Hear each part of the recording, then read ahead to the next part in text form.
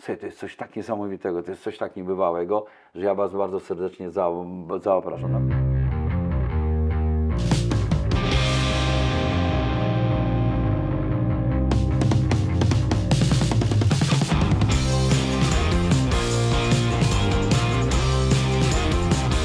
I z offroadem kręciliśmy też ten offroad. No był bardzo pokazowy. Ja miałem taki swój kanał w telewizji e, kablowej i ten offroad, no naprawdę to były ciekawe rzeczy. Ten offroad mm, był bardzo widowiskowy. Tylko, że trzeba pamiętać, że jak kręcisz offroad, no to jesteś wolny. To, to, to znaczy może ktoś jechać, ale jakby nie możesz towarzyszyć jeden do jednego tym, którzy, którzy jadą. Jak my jeździliśmy z kamerami, bardzo dużo jeździliśmy w podróży, to zawsze ludziom mówiliśmy, na, cho- chociażby w tej Libii, słuchajcie, musicie na nas poczekać. Oni nieraz byli wkurzeni, no bo to nie da rady, trzeba zobaczyć jak to przyjadą samochody, trzeba wrócić. Cztery lata spędziłem No więc właśnie, drolem no na więc wszystkich rajdach, taki, więc- imprezach, pamiętam jak to, jak to, jest, było. to się robi wolno i te offroady, y, y, całe towarzystwo offroadowe, cała taka mm, y, życie, zasady, y, no to jest coś, co było niezwykle, niezwykle miłe, niezwykle y, ciekawe.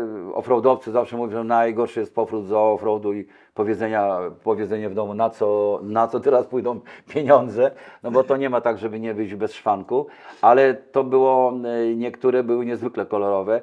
Cały czas się dziwię, że mówimy o Dakarze, a mamy Drezno-Wrocław, no, który po prostu nie ustępuje niczemu, absolutnie niczemu. Nie wiem, może osoby, które organizują czegoś, czegoś, czegoś, czegoś nie robią tak jak trzeba, marketingowo może trzeba, ale jest to rajd mega, mega trudny i pod nosem, pod Ciężkie nosem. 10 dni. Tam ten, wiesz, ta strona niemiecka to jest tam kawałek, to, to tutaj te No To wszystkie... Wrocław to jest Tak, i- Drezno trochę, a tak to Świętoszów. no i później te wszystkie. całe Drawsko-Pomorskie, No właśnie, wszystko Drawsko, polskie po, powiaty. Drawsko-Pomorskie. Przejechać się po drodze, po której jechały y, y, ciężkie wiesz, maszyny typu czołgi, no to szanowni Państwo, to jest po prostu wybuja Was także hej, ale to no, uczysz się bardzo takiego zachowania w różnych ekstremalnych sytuacjach. Musisz sobie poradzić, y, musisz szybko myśleć, y, musisz momentami pogodzić się z porażką, no po prostu utkniesz i i nie ma. Współpracować. No ale poza tym tak, i y, u, u, tego, czego my uczymy, y, ratować, pierwsza pomoc, bardzo ważna, istotna, y,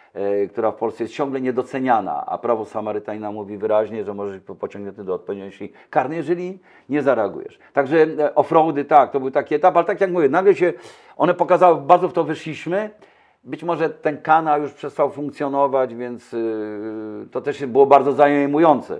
To było, że stoisz z kamerą, ale piękne ujęcie z błotem. Aha, czy muszę wymienić teraz całą kamerę. Takimi kamerami pracowaliśmy lekkimi, cyfrowymi, ale one, no niestety, wie, Piasek, kurz, nie pomagał. Nie, nie, pomagał, no błoto nie jak pomagał. wjechało, to było po sprzęcie i tyle. Jakie było najciekawsze wydarzenie motoryzacyjne w Twoim życiu? Takie, które utkwiło Ci w pamięci. Y, Było, było, było właśnie teraz tak szybko. Wiesz, ciekawe to było to, że jak miałem prawo jazdy i, i jechałem na zderzenie z, z mojej absolutnie winy. Absolutnie mojej winy i powiem Ci, że to no raz, że to nie wiem, dobre anioły czuwały, a dwa, że to także uczy jak jeździć. Bo ja byłem sparaliżowany i to mnie tak uczyło, że po prostu nierozsądek, wyprzedzanie w sposób idiotyczny, tak na wariata, to też powodowało, że y, się tego uczyłeś. Moje wspomnienia, bo tak mówisz motoryzacyjnie, jak ja pamiętam, jaki, jakie byłem dumny z siebie, jak zmieniłem klocki hamulcowe w ogórku i się tak nauczyłem, jak zmieniać w ogóle klocki y, hamulcowe, kupowane w Polsce, które piszczały tak, że jak hamowałeś, jakby cały skład pociągu towarowego hamował, ty tam patrzyłeś w niebo, wiesz, to nie u mnie, to nie wiem, bo człowieka, człowiekowi było, y, wiesz, jakby żal. Dobra, powiem taką ładną historię motoryzacyjną. Jest ym, PRL, pojechałem do kumpla do Düsseldorfu właśnie ogórkiem, miałem z tyłu lampy witrażowe, bo robiłem witraże, więc liczyłem na to, że będzie biznes i był biznes, Y, więc te lampy, dojechałem do niego szczęśliwy, ale tak na niego długo czekałem, że y, źle zaparkowałem, gdzieś wyszedłem, wróciłem, patrzę, nie ma samochodu, o Boże, o Boże. Potem do niego dzwonię, mówię, słuchaj, ja już jestem, gdzie ty jesteś, gdzie ty jesteś? Nie ma mojego samochodu, a gdzie zaparkowałeś tu i tu? Ja pierdziu Jurek, tam nie można parkować, scholowali cię. Jezu, a gdzie cię schowali? No jak znam, to będzie za Düsseldorfem, no będzie, no będzie to kosztowało. No i istotnie pojechaliśmy po ten samochód, próbowałem coś na wojnę utargować, ale nie dało. Dali mi rachunek 80 y, Deutsche Mark. No to wtedy było masę pieniędzy, no byłem zapłakany. I tego samego dnia kowadło szczęścia pędzi w moją stronę, o czym ja nie wiem. Jadę mianowicie jakimś takim dru, do drugich tam znajomych, małym osiedlem w Düsseldorfie, zawadziłem jakąś przyczepkę. No i oni mówią, Jurek, tu jest taki zwyczaj, że musisz zostawić karteczkę, że zawadziłeś, nie ma dwóch zdań. Ale już właściciel zobaczył z okna, poleciał, nakrzyczał, przyjechała policja. Przyjechała policja, pyta mnie o papiery, mówię, że mam w mieszkaniu, wiozą mnie, rozmawiają, ja wtedy po niemiecku jakoś mówiłem po szkole, Yy, nawet ich poprosiłem, czy możemy na sygnale, pojechałem oni ha, ha, ha, ha, ha i pojechali na tym sygnale. Słuchaj, dali mi za wszystko 10 marek. yy, Opłacało się krótko. ale poczekaj, 10 marek dali mi mandatu. No i tak niby się to skończyło. Tam się okazało, że oni temu Niemcowi powiedzieli, pan jest ubezpieczony, to w ogóle to, to jakaś mała szkoda.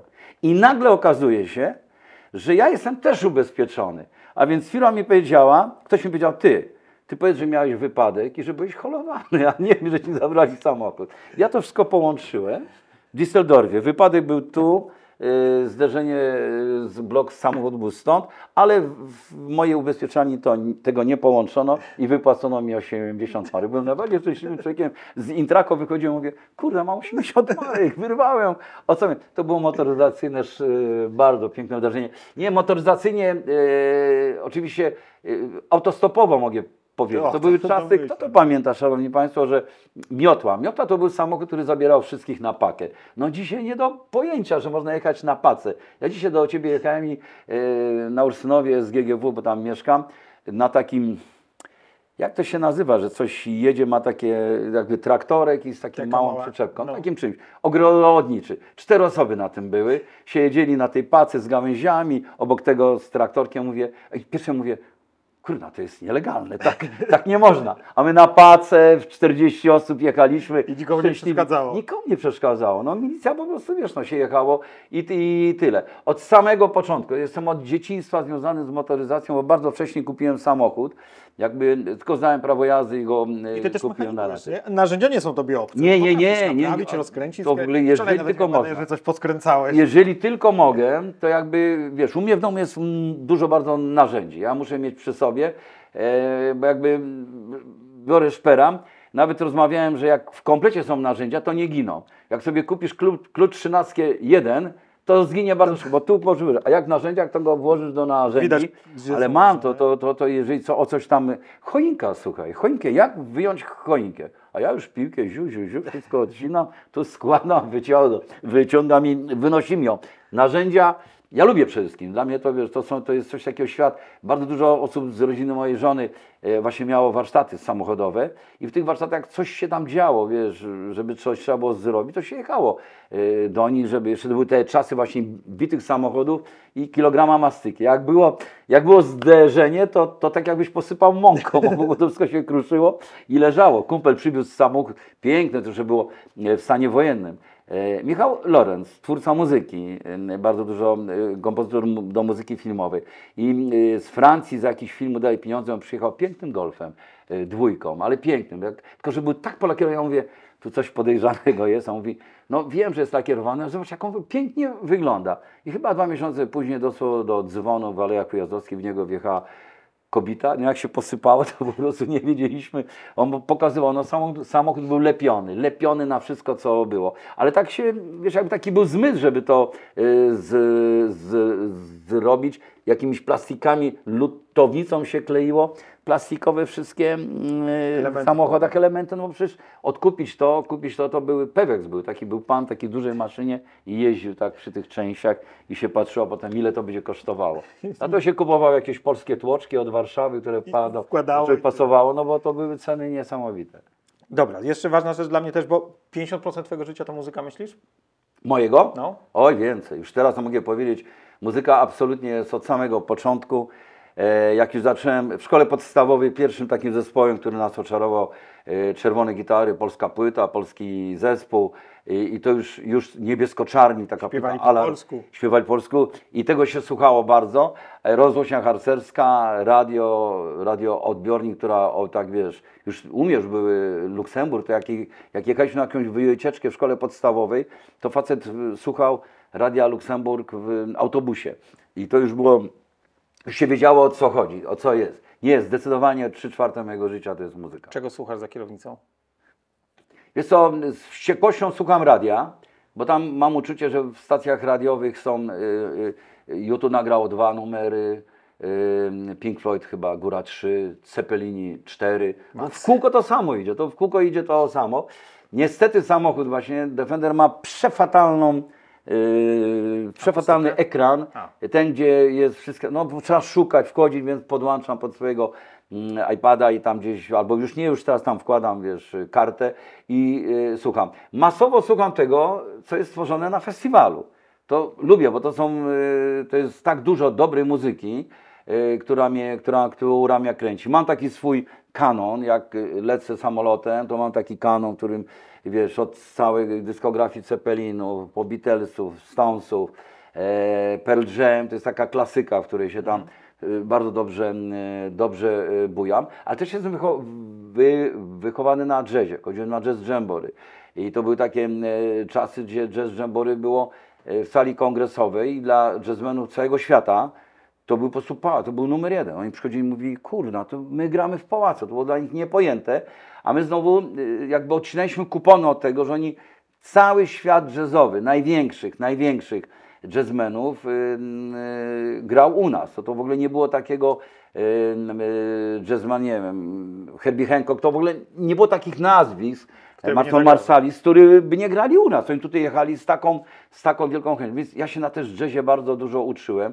na polskim jazzie y, doskonałym, y, na Zbyszku Namusłewskim, u którego byliśmy rok temu, na tuż, na tuż przed śmiercią. On nam podarował saksofon, zaraz potem odszedł i tak rozmawialiśmy ze Zbyszkiem Namysłowskim, a ja jego pamiętam, y, długie włosy, y, winobranie, jego płytę, to, to, to między muzyką rockową a jazzową było takie zawiązanie. Y, I to było Michał Urbaniak. Urbaniak, to to- było, Uran- jaka to była, jak on wjechał do Gra z- Stanów, gra z Dudziakowa, która wychodziła z tymi wszystkimi samplerami, jeździła w koncercie Filharmonii, y, jak żeśmy poszli do Filharmonii Warszawskiej, taki tłum poszedł, ale po trzy osoby siedziały na jednym siedzeniu. Weźmy weszli tak na ura, jak szturm na, na pałac zimowy. Moja żona ze mną, dzidzia, a dzidzia mówi, chodak mi spadł. Ja mówię, pierdolisz ten chodak, idziemy dalej. Nie, nie, dzidzia się odwróciła ten tłum po niej, ale wzięła chodaka i poszliśmy na górę. I siedliśmy wszyscy na grze i wszedł cieć taki tam pilnujący, no nie cieć, sorry, przepraszam, ktoś mówi tak. Wszyscy Państwo bez biletu proszę natychmiast wyjść. Cisza. Zaczynamy koncert. No i Michał Urbaniak, proszę Cię, Tomasz Stańko jeszcze wtedy był e, w składzie. Co to były za koncerty? Więc słucham takiej muzy nieprzypadkowej. Raczej nie jestem taki, że a coś tam będzie brzęczało. Nie lubię właśnie rozgłośni radiowych, y, a niektóre mają specyficzną w ogóle muzykę. Te najbardziej popularne. Ten, jak, jak jedziemy samochodem, mówię nie, chłopaki, koniec. Już w ogóle nie, już tego dalej nie, nie zdzierżę. Ale muzyka jest u mnie non-stop. Nawet mi kupili teraz radio przenośne. Nomen omen y, firmy, która robi narzędzia i to jest najlepsze radio, jakie tylko może funkcjonować, bo wszyscy tynkarze, malarze i noszą je ze sobą, no może spać, może się wszystko stać i to radio idzie ze mną. Ja coś robię, a radio ze mną, bo ja muszę, musi mi grać, ja nie lubię ciszy. Teraz y, jak jeździsz po Polsce, a wiem, że dużo jeździsz po Polsce. Częściej jako kierowca czy jako pasażer? Którą Nie, nie, pasażer, pasażer, zdecydowanie pasażer i to jest komfort, że y, całą Libię przejechałem na przykład sam i chłopaki kamerami pracowali, to jeździłem sam. E, lubię jeździć, ale nie, teraz jestem jako kierowca. Ale ja mam całe biuro. Ja siadam, już wszyscy wiedzą, że y, w tym Defenderze siadam z tyłu. Mam jeszcze taki jeden samochód, bus, y, który jest taki właśnie na duże przeloty. Jak trzeba, musisz pojechać do Szczecina, teraz byliśmy otwierać rezonans magnetyczny i wrócić, to jest 1200 km. I tak patrzymy, no to byśmy kumpla w Brukseli właśnie, byśmy już, już do niego dojeżdżali. Już by napoje wkładał do lodówki, a my byśmy, bo to jest 1200 km. Więc nie, mamy, e, mam takich dwóch naszych tutaj kierowców bardzo, m, Trolla i Baradiego. e, Trolu się zajmuje całą flotą samochodową, czyli dba o ten samochód. Bardzo dbamy o samochody. To jest bardzo ważne, czyli, Potwierdzam. e, czyli opony, e, czy, ale też przeglądy. Tutaj nie ma. e, i- Poza tym kiedyś w każdym samochodzie, na pewno to miałeś, woziło się narzędzia po prostu. Ja nie miałem nowego samochodu przez wiele lat. To, to po prostu było, ja się cieszyłem, że mam samochód, wiesz, pięcioletni, dziesięcioletni, trzyletni, a potem roczny. O Jezu, jakie to było zjawisko. Zawsze była torba z narzędziami, No tak, bo tak. nie wiadomo, co się dać. Teraz po prostu Tylko, że kiedyś, na autos, jak się zepsułeś na trasie, to na każdej stacji benzynowej kupiłeś komplet narzędzi, wszystkiego mogłeś naprawić. Dzisiaj to prędzej kupisz wódkę, Ale chipsy. Każdy ci, coś, cokolwiek. każdy ci coś poradzi po prostu, wiesz, z samochodem jeszcze. E, to jest taki słynny Mercedes Beczka, który po prostu był do naprawienia wszędzie. No na, można powiedzieć, że każdy kowal powiedział, dobra, wjeżdżamy, coś tam robimy. No samochód, e, no nie, nie byle jaką spełniał funkcję jako e, taryfa, no przez tyle lat wytrzymały i bardzo dobry samochód. Teraz no w ogóle nic nie ruszasz, a jeszcze jak poruszysz coś, to potem ci powiedzą, To jeszcze gorzej będzie. jeszcze gorzej, a w ogóle zabiorą. dlaczego tam dłubałeś, dlaczego tam robiłeś, no właśnie, zabiorą gwarancję, więc yy, nie, to już, to już nie te czasy, a ja mam biuro, ja mam biuro, jak ja wchodzę, to ja wchodzę, wiesz, z ogromną ilością różnych tam rzeczy, potem telefon odpisuję, coś tam robię, Yy, mam co tydzień audycję w Antyradiu na żywo, dwugo, dwugodzinną. Taka podróż jest dla mnie też idealna, po prostu wyciągam, ja muzykę przygotowuję. U mnie nie ma tak, że mam jakąś listę, a to tam ona sobie zagra, albo ktoś mi ją przygotuje.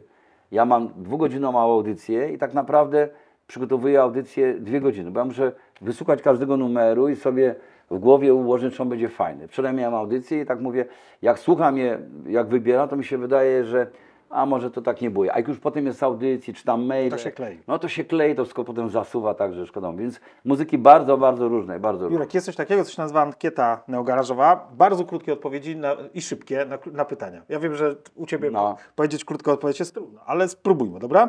Najgorsze auto, jakim w życiu jeździłeś? Syrena. Czego nie lubisz na polskich drogach? O, agresji. Auto marzeń? Cały czas samochód y, terenowy, ten, który y, zdobył całą Australię, czyli Land Cruiser, taki stary, to jest samochód piękny. Za co lubisz polskich kierowców? Za to też, że y, pomagają, że jeżeli otworzysz y, paszczę, no to zawsze ktoś się może stanie ci pomoże i ma dobre rady. Najszybsze auto, jakim jeździłeś? Ła, ja się dziwię, jak ten mój Defender pędzi i to mi już policja potwierdziła. O, to miło z ich strony. Ale odpracowałem, Ale 5 czy- godzin, Masz na to odsłuchałem. dowód na to, tak? Mam na to dowód, tak, potrafię. Jakiś wypadek w życiu? Tak, wypadki, e, dwa poważne, potężne i odpukać e, jakieś drobiazgi, ale te dwa potężne e, istotnie uczą i je pamiętam po dzień dzisiejszy. Brawura, jeden wjeżdżając e, na ślimaka na e, Ursynów dokładnie 30 listopada, wiele lat temu, e, już taka mała, wiesz, ślizgawka i ktoś mnie wyprzedzał, e, ach, to może ja wyprzedzę jego i już nie wyprzedziłem. Jechałem dużym tranzytem i, i tylko tak patrzyłem, jak się na samej górze obija od jednej bandy, od drugiej bandy, potem w jedną bandę strzela, ta banda wręcz tam się troszeczkę rozjechała, ale samochód stanął w miejscu. Dojechałem do domu i wtedy pamiętam, że moje dzieci były, żona i wtedy powiedziałem, nawet nie macie pojęcia, jak pewne rzeczy ułamek sekundy zmieniają całą postać, yy, w ogóle całą historię. Całe życie mi na moment tak stanęło, mówię, ła, czy to się dobrze skończy, czy ja spadnę w dół. A drugi raz miałem wypadek yy, właśnie poważny o samochodzie, o którym mówię, który był bardzo bity, jak każdy mówił, tylko chyba z prawej strony był bity, czyli Passat. E, Jechałem samochodem z Łowicza do Warszawy e, z moją teściową i y, wyminąłem to, bo tuż jak upadł, upadły Niemcy i wyminęliśmy Wartburga, takiego, który jechał, tak spojrzałem jeszcze ten Wartburg, a potem przed sobą widziałem wypadek. I on był źle zabezpieczony przez y, policję, ona pewna bardziej, te samochody tak trochę gwałtownie hamowały. Ja też zahamowałem, spojrzałem w lusterko i dopiero wtedy zobaczyłem, że ten Warburg jedzie, no po prostu ile mu fabryka dała, plus jeszcze ile mógł tam. Pędzi, on po prostu pędzi. Ja mówię, na miłość boską, on jedzie prosto na mnie. Próbowałem uciec, więc wjechał na mnie, ja wjechałem jeszcze na kogoś i pamiętam, że wtedy teściowa powiedziała, o Chryste Panie, samochód. Ja mówię, mamo, żyjemy. W ogóle nie martw się, to też taka zmiana filozofii. To jest dużo żelaza, dużo blachy, dużo czegoś. Życie jest najważniejsze w tym wszystkim i to jest, i to jest i- istotne. E, I to były takie dwa potężne, które też mnie nauczyły, żeby 31 ostrożnie. finał o tym życiu jest.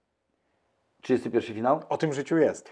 O tym życiu jest i o to życie trzeba dbać, o to życie e, i to robi orkiestra, czyli jakby dba o nasze zdrowie i życie, ale mam do tego pokorę, czyli jakby możemy mówić o sobie, ale kiedy ktoś mnie pyta, czy orkiestra takie rzeczy czyni, to jakby się wycofujemy, e, no bo mm, właśnie pokornie, filozoficznie do tego podchodzimy. To jest, my kupujemy sprzęt, a to jest tak ogromny łańcuch zdarzeń, lekarzy, pielęgniary, ratowników medycznych, pielęgniarzy, wszystkiego, co się toczy wokół tego człowieka, którego, któremu trzeba dać to zdrowie, pomóc, że my jesteśmy tylko takim tam, wiesz, małym elementem w tej całym takim długiej drodze. W związku z tym e, jakby tego nie roztrząsamy. Roztrząsamy to, że w ogóle z- uczyniliśmy jedną rzecz, że gramy, że w ogóle wszyscy są, że jak ostatnio czytam jak mantrę, gdzie gramy, no to te miejsca wymieniane, to powiem Ci, robią tak ogromne wrażenie. To jest w ogóle coś tak niebywałego. E, To nie są biura, to nie są jakieś konsulaty, że ktoś robi e, tam, Ale- gdzie my gramy na przykład. No ale zdarza Ci się gdzieś zobaczyć e, jakiś sztab to w ogóle, żeby na mapę spojrzeć, gdzie to w ogóle jest, bo nawet nie masz świadomości, gdzie to mogłoby być? Wiesz co, yy, szanowni Państwo, bo to jeżeli mamy czymś zakończyć miło, to ja Wam tylko powiem, no może aż tak nie ma, tylko szukam gdzie tym, w tym miejscu. A to jest taka mantra yy, czegoś dobrego, społeczeństwa obywatelskiego, powodzenia naszego kraju. Zobacz, jak mieliśmy stulecie niepodległości, no to tam się rzuciliśmy na, na jakieś yy, jachty, które miały płynąć, nie dopłynęły. Wiesz, no Nie nic się nie wydarzyło. nawet, Nawet, tak. nic się nie wydarzyło. A tutaj nagle robisz orkiestrę i jesteśmy. Irlandia, Islandia, Niemcy, Wielka Brytania, Stany Zjednoczone, Nowa Zelandia, Belgia, Cypr, Holandia, Norwegia, Austria, Chorwacja, Hiszpania, Australia, Szwecja, Szwajcaria, Luksemburg, Dania, Kanada, Czechy, Singapur, Japonia, Francja, Włochy, Indonezja, Brazylia, Finlandia, Arabia Saudyjska, Łotwa, Meksyk, Filipiny, Portugalia, Ukraina. Możemy zobaczyć, e, gdzie jesteśmy mm, na Filipinach, musielibyśmy szukać, ale na przykład już trzeba by zobaczyć, gdzie jest e, e, nasza e, stacja, e, stacja, stacja e, polarna, którą, e, no, w, której, w której też e, gramy, czyli jesteśmy, można powiedzieć, pod, pod każdą szerokością geograficzną. Wszędzie gdzieś tam ludzie są i chcą z nami być, kiedy jest transmisja, są z nami, są dumni, wiesz, są, bo spotykają się. Przy jakiej okazji się Polacy spotykają? Boże Narodzenie jest świę, święta, ale to rodzinnie. Ale tak, żebyśmy my się spotkali społecznie, musi tam być jakiś, nie wiem, jak będą gdzieś Mistrzostwa Świata, no to się tam w tym państwie spotkamy. Ale tak od tak, no tośmy to wszystko uczynili, czego jesteśmy najbardziej ciekawe, zawsze się wydaje, że jest ten kolejny rok, kolejny finał i tak, no teraz to już jest naprawdę top. Po czym przychodzi następny rok, jest Rok temu, nam, miasto do rok temu nam się wydawało wolontariusze, 30 jeszcze więcej. finał, to jest dopiero coś. A ja dzisiaj właśnie to, to co powiedziałem na początku, czyli bo 12 minut, dzisiaj 17 minut. My tak przecieramy oczy, ale czy, sprawdźcie, czy napęd. To są oczywiście pieniądze deklarowane, często wirtualne, ale oczywiście one się zamieniają w bardzo konkretne pieniądze. Ale to, że ludzie są, to, że ludzie, wiesz, wyjechali z Polski, i sobie świetnie dają radę. Ta cała emigracja jest czymś niezwykle pozytywnym, bardzo. Część ludzi wraca z nowymi pomysłami, przyzwyczajeniami. E, ludzie widzą inny świat, ludzie e, korespondujemy z nimi. E, wracają do Polski i pewne rzeczy jaskrawiej widzą. Nieraz takie nasze zachowanie niedobre e, albo taki, taki hejt na siebie, niepotrzebny, e, więc bardziej to jest wyraziste. Porównują to do społeczności, w których mieszkają, mówią, kurczę, u nas to ta społeczność się szanuje. To jest absolutnie, to jest taki pewnik, że tak musi być. Ale że jeszcze ta społeczność przychodzi do nich i mówi, kurna, o co? Powiedzcie, o co w tym wszystkim chodzi, bo drzecie mordy, cieszycie się, Fajne, e, miasta, zaprosiliście nas tutaj jako e, sąsiadów, co tam się u was dzieje? A przecież nie jest to, wiesz, namaszczone systemowo. System nie przychodzi, nie mówi, nadlecimy tutaj wielkimi oficjalami i teraz wam pokażemy, jak to trzeba robić. Mogliby Wręcz nawet uważam, że właśnie przez to, że nie jest to takie oficjalne, to jest No to nie jest- społeczne. No, nie jest to Akademia ku czci, no nie ma tam, wiesz, jak to mówią, słodkiego pierdzenia, tylko po prostu jest konkret. Ludzie naprawdę się świetnie w tym czują. E, Kupa dzieciaków, wiesz, która mieszka, to bo ja, jak, jak, wy, jak wymieniam Irlandię, no to, to, są, to są miasta, to jest wiele różnych miejsc. Ostatnio napisał do mnie koleś z Bormow, No to który- bym musiał sprawdzić na mapie, gdzie to a jest. to Bormow to no, morsuje. Codziennie wchodzi do oceanu i, i, i się i, i morsuje. I y, Chris jest y, w kuchni pracuje, gdzieś w jakimś tam pubie. I mówi, że w zeszłym roku zrobił w pubie u Rachel i właścicielki zrobił no takie spotkań, nawet nie rysował to jako sztab. I wiesz, Jurek, myślałem, że to fajnie wyszło i nagle ona mnie dorwała, gdzieś mówi, ty, a w tym roku co jest? Mi się to tak podobało. Ty wiesz, ja dostałem kopa w cztery litery i robię to w tym roku. No to zobacz, jak, przecież to nie są jakieś pisma, to nie jest przy- przyjść do pani Rachel i powiedzieć, czy możemy u pani w pubie zrobić, na pewno pani sprzeda trochę więcej porcji napoju, będą się udzielić. Nie, ona sama mówi, to jest coś tak niesamowitego, to jest coś tak niebywałego, że ja was bardzo serdecznie za, zapraszam. Na wyspie Bali, jak nam pokazują zdjęcia w tym roku, jak pokazali, jak przygotowują sztab, jak to wiesz, wchodzi z nad mm, plaży, potem jakaś motorówka, to w ogóle jak biuro podróży. A najpiękniejsza rzecz, to są te trzy pasy w Tokio, to przejście takie, gdzie wszyscy Tak, idą na siebie. Ja pierwszy raz zobaczyłem parę lat temu, idzie nasz wielki baner. Ja mówię, kurna. I tam też powiedział, gramy w Tokio, gramy w Japonii. Ja tam próbowałem i ogłosiłem, że tam mamy sztab i zacząłem o tym mówić głośno, chyba 5 lat temu. I w tym momencie ktoś poszedł, żeby jeszcze zarysować, pójść do konsulatu. I w konsulacie został bardzo źle potraktowany. Znaczy, napisali mu wręcz, że konwencja z 1953 roku mówi, że nie można niczego robić w imieniu państwa polskiego poza konsulatem, bo to grozi trzecią wojną światową między Polską a Japonią. Ja tak mówię ogólnie, no jakiś taki list.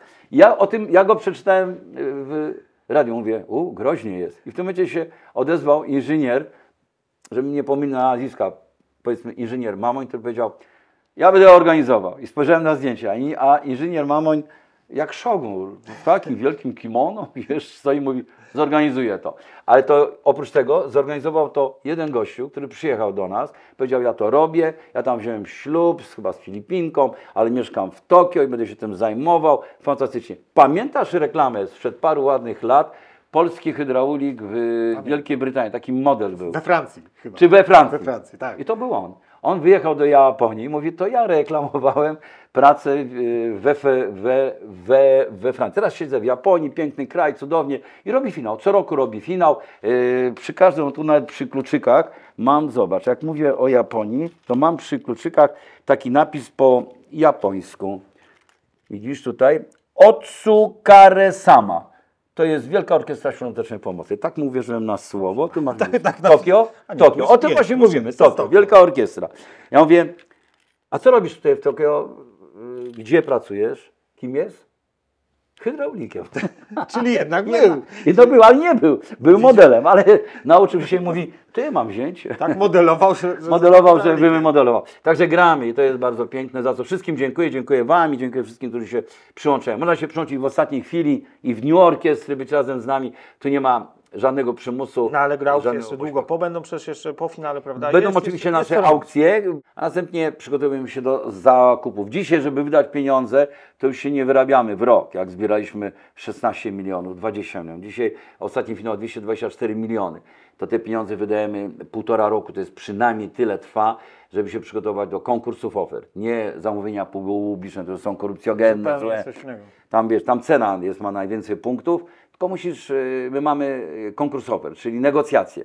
Jakbyśmy mieli od siebie kupić y, to pudełko z narzędziami, to musiałbyś do nas przyjść i pokazać, konkurencja też pokazuje, musiałbyś to rozpakować, pokazać, czy to działa. Nasi fachowcy, którzy tym pracują podobnymi narzędziami, pokręciliby, powiedzieliby dobrze, ok, porządku, jaką nam dajesz gwarancję? Musi być 3 lata minimum. I nie może kosztować. Dwa lata jest zazwyczaj, ale ten rok więcej musi być w tej samej cenie co dwa lata. Szpitale wiemy, jaką mają różne y, problemy. I wtedy z Tobą rozmawiamy. I ma, y, trzy razy się spotykamy. Trzy razy. Dajemy Ci szansę. Mistrzu, naprawdę musi być. Naprawdę musi przemyśl być ofertę. Przemyśl ofertę, musi być rzut na taśmę, żebyśmy to kupili. A nie kupujemy jednej sztuki, tylko kupimy od Ciebie 1500 sztuk na przykład. I wtedy mówisz, opłaca się zarobić tylko ciutkie, ale wjechać wszędzie. Na tym polegają negocjacje i kupiliśmy do tej pory, wydaliśmy 1000, miliard 750 milionów złotych, tak ogólnie patrzymy na to, także na nasze programy medyczne i 70 tysięcy, ostatnia cyfra 400, e, 400 sztuk urządzeń. Słyszałeś kiedykolwiek, żeby gdzieś w mediach podniesiono alarm?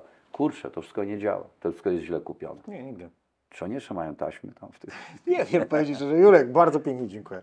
Naprawdę to ja, zresztą znasz, znamy się tyle lat, nie będę tu opadał. Bardzo jestem szczęśliwy, że, że Bardzo dziękuję. do nas. Bardzo pięknie Ci dziękuję za, za motoryzację, ale też za Wielką Orkiestrę Świątecznej Pomocy i za to, że widzimy się 29 na Zapraszam. 31 finale.